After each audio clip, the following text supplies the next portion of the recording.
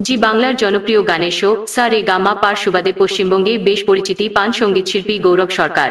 দিদি নম্বর ওয়ান থেকে শুরু করে দাদাগিরির মঞ্চ, সব জায়গাতেই নিজের সুরের জাদু চালিয়েছেন তিনি। তবে সম্প্রতি এই গায়কের বিরুদ্ধেই বিস্ফোরক কিছু অভিযোগ এনেছেন শ্রেয়সী চট্টোপাধ্যায় নামের এক উঠতি গায়িকা। যার দাবি, বিয়ের প্রলোভনে দিনের পর দিন একসঙ্গে থেকেও এখন বিয়ে করতে চাইছেন না গৌরব। শ্রেয়সী জানান, গত কয়েক মাস ধরেই গৌরবের সঙ্গে সম্পর্কে ছিলেন তিনি, এমনকি দুজনের বিয়ের কথাও চূড়ান্ত ছিল। সম্প্রতি একসঙ্গে দার্জিলিংয়েও ঘুরতে গিয়েছিলেন এই জুটি। কিন্তু সেখান থেকে আসার পরেই বেঁকে বসেছেন গৌরব। ভাঙতে চাইছেন এই সম্পর্ক, জানিয়ে দিয়েছেন এই গায়িকাকে বিয়ে করা সম্ভব নয় তার জন্য।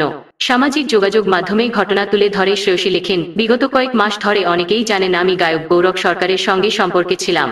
দুই হাজার পঁচিশ সালের চব্বিশে জানুয়ারি আমাদের বিয়ে হওয়ার কথাও ছিল। এই বছরের সেপ্টেম্বরে আমাদের এঙ্গেজমেন্টের পরিকল্পনা ছিল। সবকিছুই ঠিকঠাক ছিল, কিন্তু হঠাৎ করেই ভুল পাল্টেছেন গৌরব, এমনটাই দাবি শ্রেয়সীর।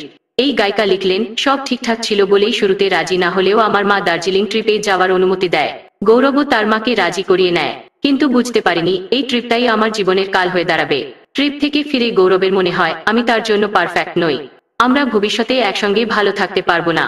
আগেও একসঙ্গে ঘুরতে গিয়েছেন এই জুটি, তবে তখন এমনটা মনে হয়নি গৌরবের যোগ করেন শ্রেয়সী। তিনি বলেন, কাল রাতে গৌরব তার সিদ্ধান্ত জানিয়ে দেয় আমাকে। সে আমাকে বিয়ে করতে পারবে না।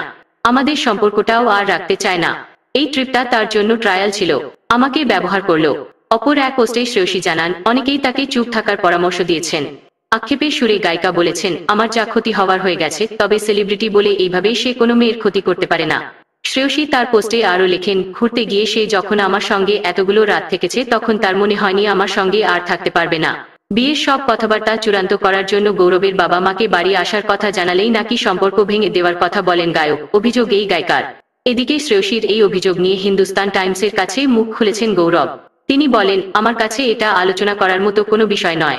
আমার কাছে লোকেরা আমাকে চেনেন। কারও থেকে আমার চরিত্রের সার্টিফিকেট নেওয়ার দরকার নেই।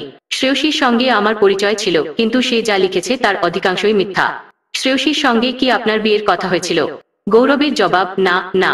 আমার পরিবারের কেউ তাকে দেখেনি। বর্তমানে তার সঙ্গে আমার কোনো রকম সম্পর্ক নেই।